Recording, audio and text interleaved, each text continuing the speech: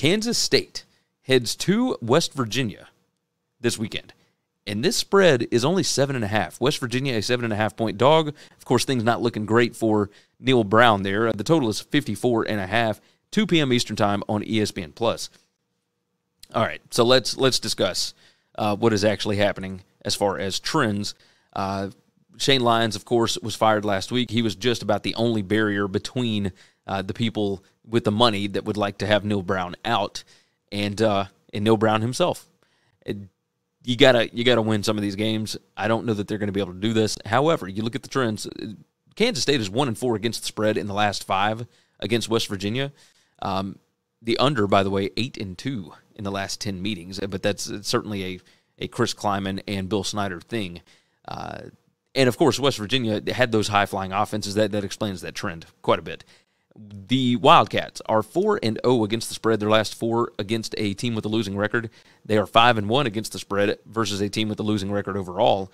Uh, they're seven three and one against the spread in their last eleven. I mean, this is Kansas State just covers numbers. They just do. Uh, you look at West Virginia though. Mountaineers one and five against the spread in their last six after a spread win. They are 12 4 and 1 against the spread in their last 17 home games though. So of course they got that win over Oklahoma that was very much unexpected.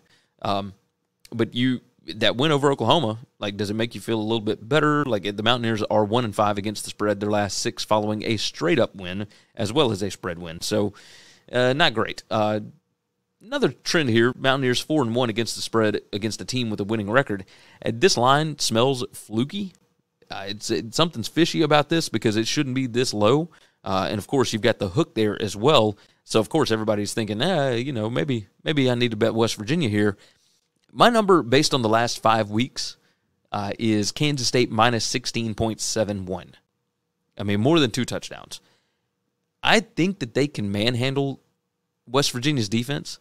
Um, you look at the the rush rate and the pass rate over the past five weeks, and Kansas State is not running the ball all that much. Uh, Deuce Vaughn uh, is being used a little more, like I guess, in the passing game. Uh, you look at their passing explosiveness, it's number eight in the country. Their PPA per pass is number three. Passing success rate is number four. And they are throwing the ball more than 50% of the time, 51.5% of the time. Like that's their pass rate right now.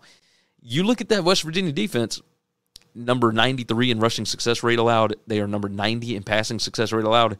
That defense is not good. So long as you do not beat yourself, I have a feeling that Kansas State will be able to maul them in the trenches. Uh, you look at uh, uh, stuff rate, that's that's where it gets a little tricky for me because West Virginia is number 64 on defense and Kansas State is number 103 over the past five weeks. So that offensive line hasn't been great, but I think this is kind of a get right spot for Kansas State. Uh, they have to have this. It looks like they're in the driver's seat to be the other participant in the Big 12 title game. I I look at West Virginia's offense, and of course the the new quarterback that came in last week, um, and his name escapes me right now. But regardless, he provided a little bit of life and changed up how that offense plays. I think now that there is film on him, I think Kansas State will be able to uh, devise a game plan to be able to get a stop here. I I like Kansas State. I'm going to take the Wildcats here uh, to be able to get the cover because I mean the numbers just say that they're going to be able to put up a bunch of points, I think. And I don't know that West Virginia can. And so that is the way that I'm looking at this one. Give me Kansas State minus seven and a half. Thanks for listening to Winning Cures Everything. Make sure and subscribe on YouTube or your favorite podcast app. And make sure to leave a nice five star review.